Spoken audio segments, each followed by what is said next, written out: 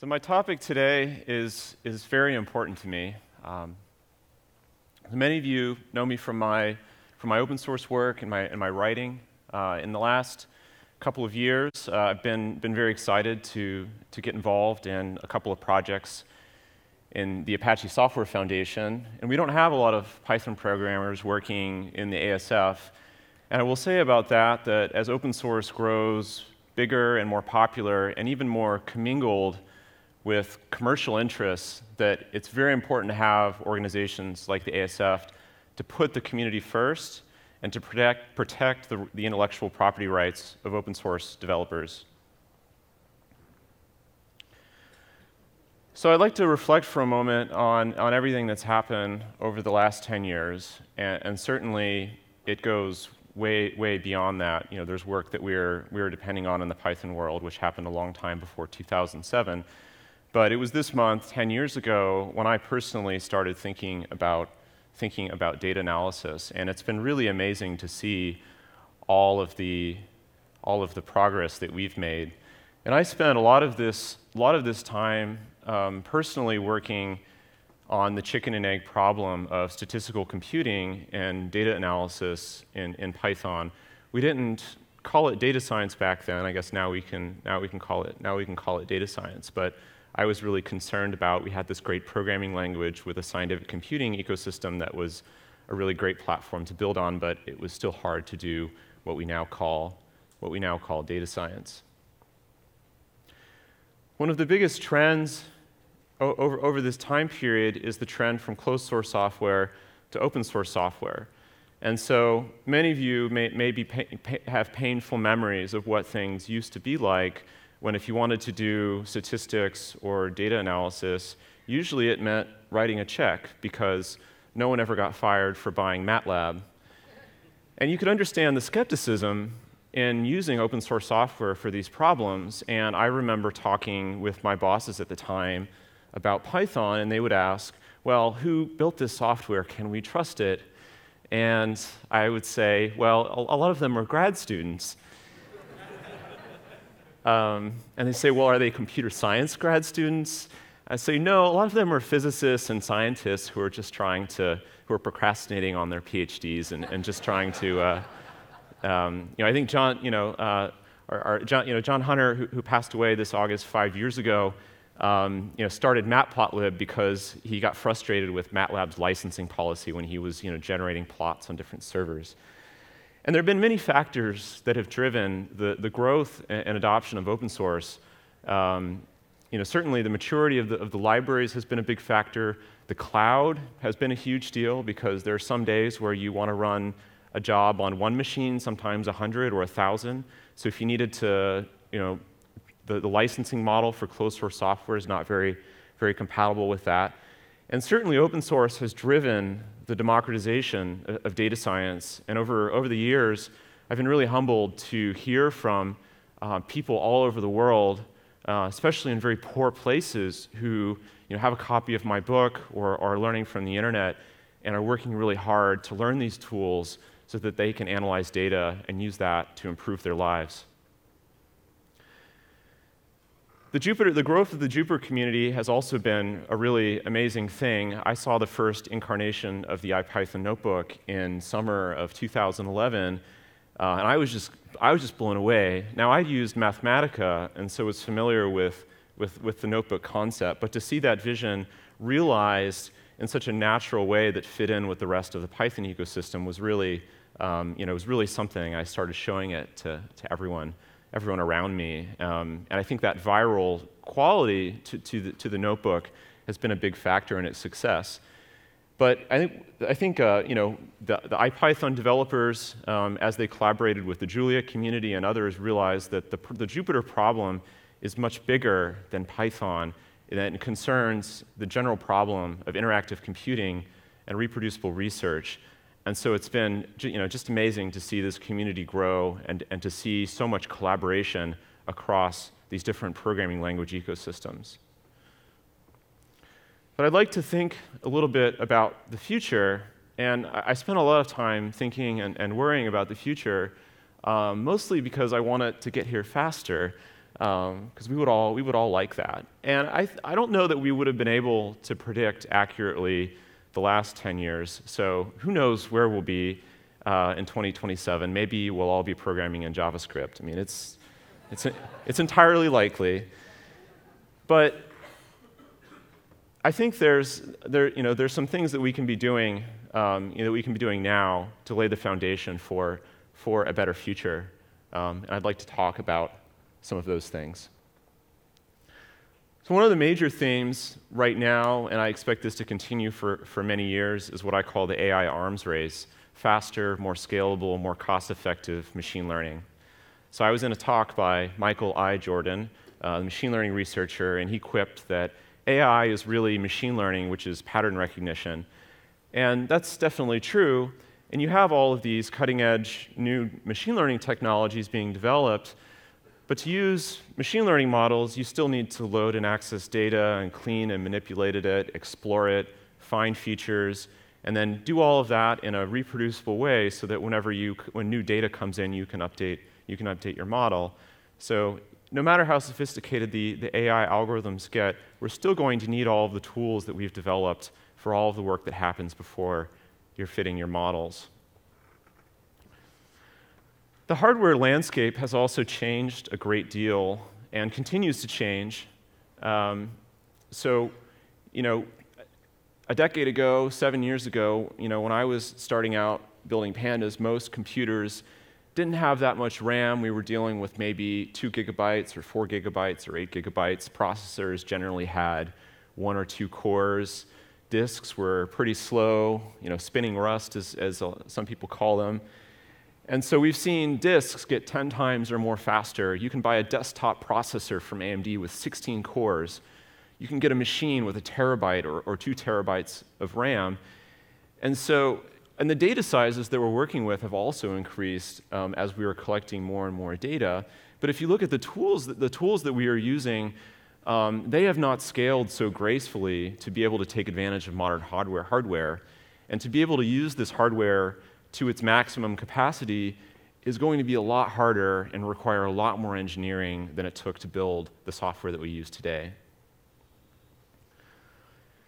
And so, one problem that I think a lot about is the fact that when you go beyond the front end, tools like, tools like Jupyter, and you go down into the Python ecosystem, the R ecosystem, and the other areas where people do data science, there isn't a great deal of collaboration. I would even go so far as to call these communities tribal you know, I'm a Python person, you know, I'm an R person, and that becomes, that becomes a part of your identity. And it's very rare that you see software being developed that can be used uh, across silos. There's, there's tools for calling Python code from Julia, you can call R from Python. But as a way to build software in general, that's not the, the, predominant, the predominant method. There's many different things that, that are in the silos. So you need to access data, when you access data, you need to put it someplace. So those are your data structures and what I call memory formats, things like data frames. You need compute engines to manipulate those data structures uh, to run, to do exploratory analytics, to engineer features. And then you need analytics toolkits to fit statistical models and machine learning models.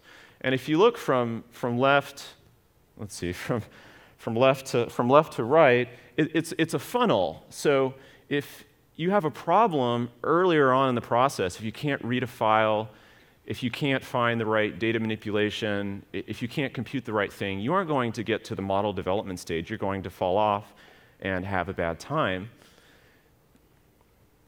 And so if you just look in the, in the Python ecosystem and, the and some of the tools, this is not a comprehensive list by any means, there's a consistent theme here in that just looking at the Pandas project, that we've had to develop software in many different, many different domains. We've written our own CSV readers and many other data access layers.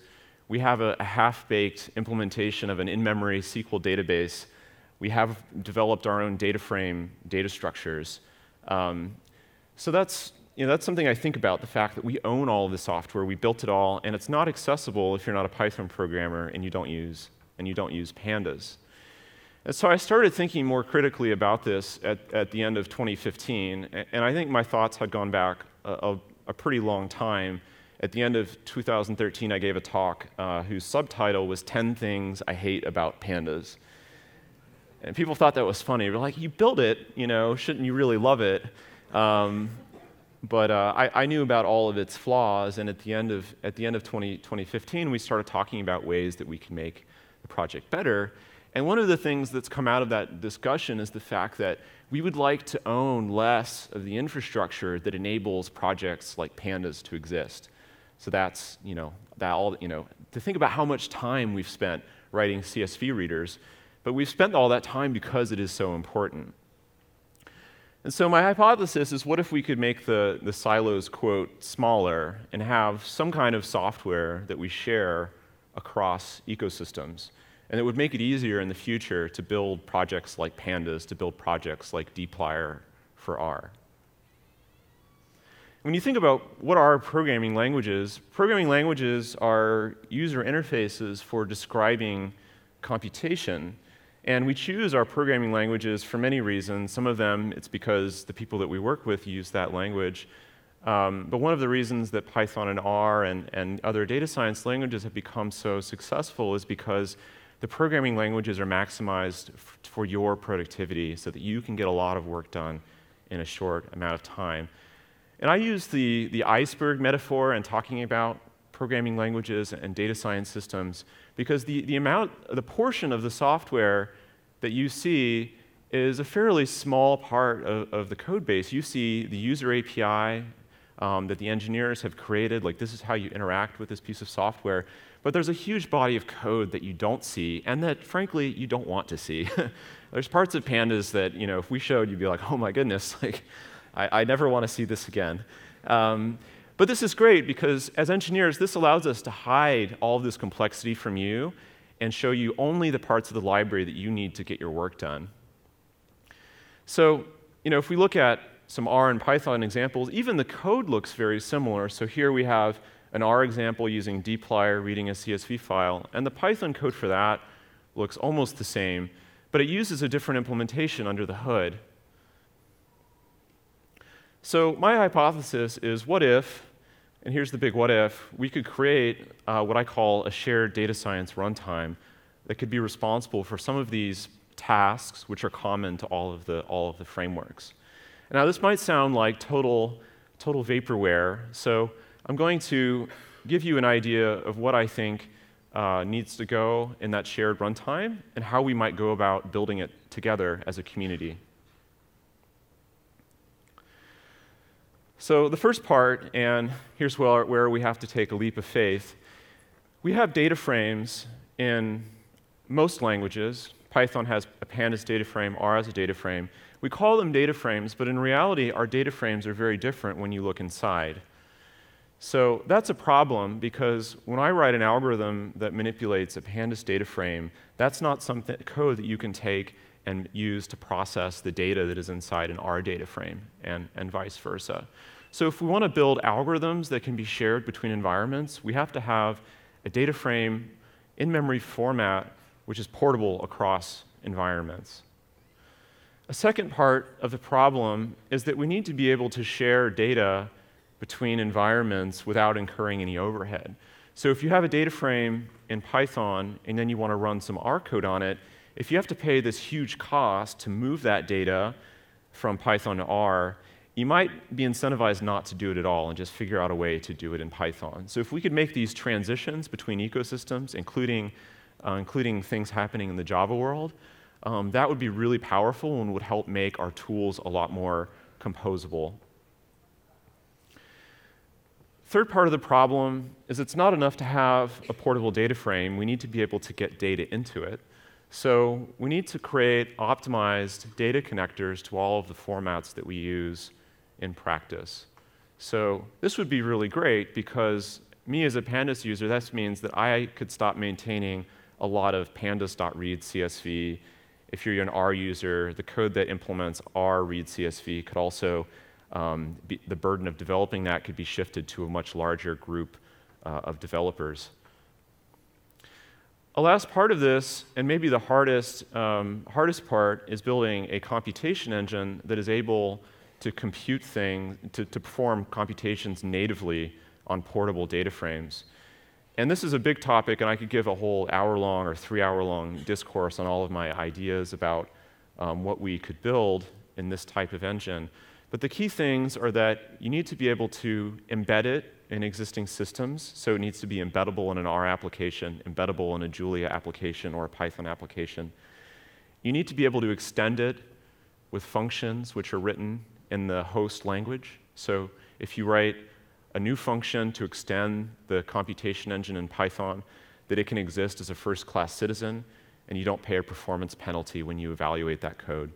And if you look at systems like Apache Spark, which have Python and R APIs, this has been one of the largest pain points that when you want to extend Spark with user defined functions, you pay, uh, pay a heavy penalty.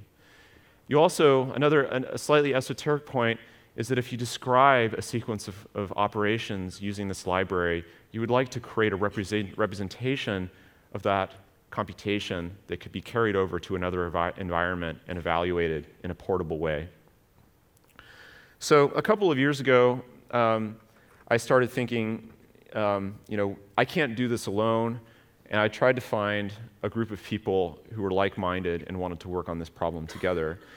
We decided to create a project in the Apache Software Foundation, um, which we are calling Arrow, and it doesn't solve all four of these problems, but we've been most focused on building portable data frames and zero copy interchange between environments. And so this is what I've been spending a lot of the last um, two years working on. So if you see me being very busy on GitHub, uh, a lot of it is building, is building the arrow format because that means I can build algorithms against a, a data frame that is the same across, across languages.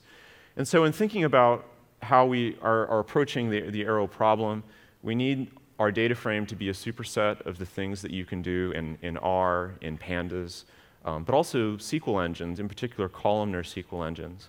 It needs to be optimized for processing, um, processing performance so that it's efficient on CPUs. We're also seeing Arrow used on GPUs and other hardware as well. And another part of the problem is that it needs to be done in a way where the project is owned by the community and not by an individual or a corporation. And so we've done it as an Apache project so that our development process is open and transparent and that the Arrow project is owned by you, the community. So many of you might have seen that, that Hadley Wickham and I got together at the beginning of uh, last year. I told him about Arrow, and one of the first things that we did is we said, let's pare down Arrow to just the bare essentials for Python and R and make a file format that's interoperable between R and Python. And so we're really excited to, you know, to ship that and to socialize the idea of interoperable data and being able to transition efficiently between environments. So I'm happy to report that there have been, um, there's been quite a bit of adoption of Arrow amongst a variety of open source projects, which I'll allow you to uh, explore on your own um, as I'm running out of time.